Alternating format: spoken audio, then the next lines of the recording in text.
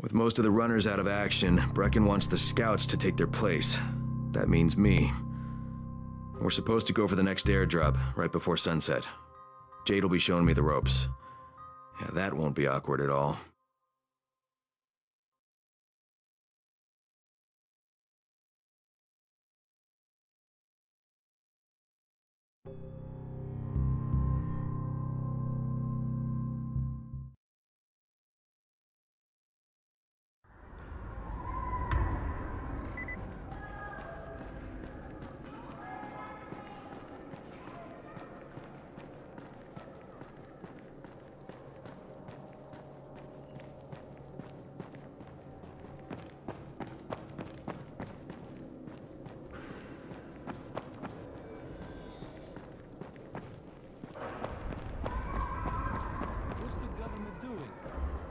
The army?